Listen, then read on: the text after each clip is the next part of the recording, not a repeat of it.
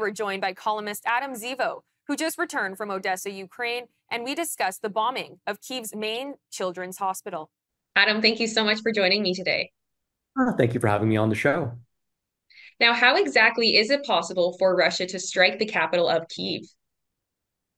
Well, unfortunately, Western weapon weapon shipments have been delayed for several months uh, because the Republicans blockaded further U.S. aid starting in November, and that had a significant impact on Ukraine's ability to defend itself. Uh, oftentimes, we talk about what that did on the front lines, with Ukrainian soldiers not having enough artillery, uh, basically being outgunned 10 to 1. But what is less discussed is the impact that had on the air defenses of cities that are farther away from the front line. Unfortunately, these air defenses ran low on ammo, uh, which allowed Russia to, of course, uh, hit these cities more frequently and in a very devastating manner. Now, on top of that, Russia has improved its missile strike ca capabilities uh, and, for example, implemented technology that makes it harder for anti-air defense defenses to hit these missiles.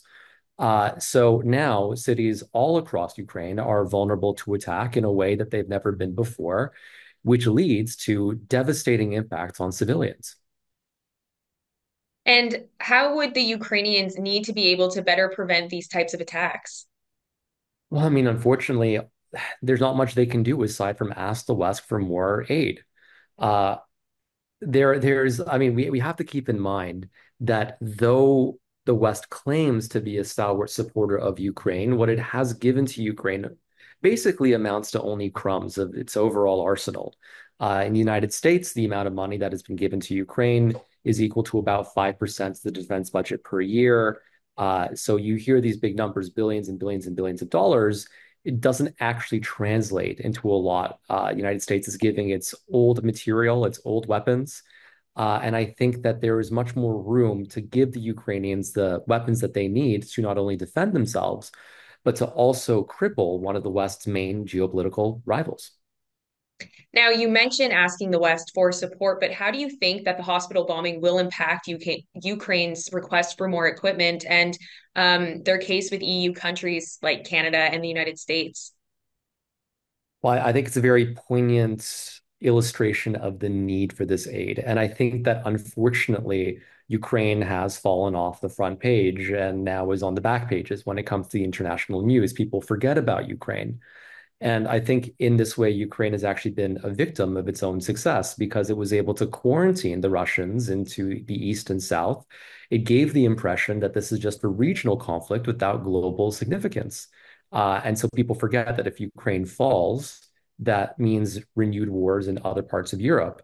Uh, and I think that I would hope that this hospital bombing will shake some people out of their complacency and remind people that Ukraine is still struggling and that there needs to be more help. Um, and what is your assessment on where the war stands now? Do you think it's possible for Ukraine to effectively stop the invasion and win back the ter territory that has been taken by Russian forces? Unfortunately, I'm not qualified to say, and there's too much up in the air here. Uh, if the West can provide more ample support, then it's possible. If the West continues slow dripping support, then the prospects here are very dim. I know that in Ukraine, there is a sense of pessimism and a sense of betrayal. The West said that it would stand with Ukraine, but only gave them enough weapons to not be taken over, while not giving them enough to decisively end this war and take back their occupied territories. Now, there's been the conversation in Canada right now where it's why are we constantly helping Ukraine when Canada's not taking care of Canada? Um, so, for Canadians who don't understand why Ukraine's fight matters, what would you say to those people? Well, I would say that Ukraine's survival is integral to Canada's national security in two ways. Uh, first of all, if Russia is able to expand more into Eastern Europe, that destabilizes the entire global world order. Uh, and we are a part of NATO, and we can't just freeload there. So that means that we would end up being more entangled in Eastern European conflicts as they escalate. The second piece here, and this is less understood, is that our main vulnerability security-wise is our Arctic sovereignty. The Arctic is warming up, ice is melting there, and that is opening up very valuable new shipping channels. The Northwest Passage, for example, is expected to serve as a very profitable seasonal alternative to the Panama Canal. Uh, so as the Arctic has been warming up, it's become more militarized uh, more contested. So in 2022, Russia didn't just act aggressively to the west, it started actually remilitarizing its northern bases. And we can expect that Russia will try to infringe upon our Arctic sovereignty in partnership with China in about 10 to 30 years. Uh, so it makes sense for us to cripple Russia now rather than pay much more money to defend our north against a stronger threat.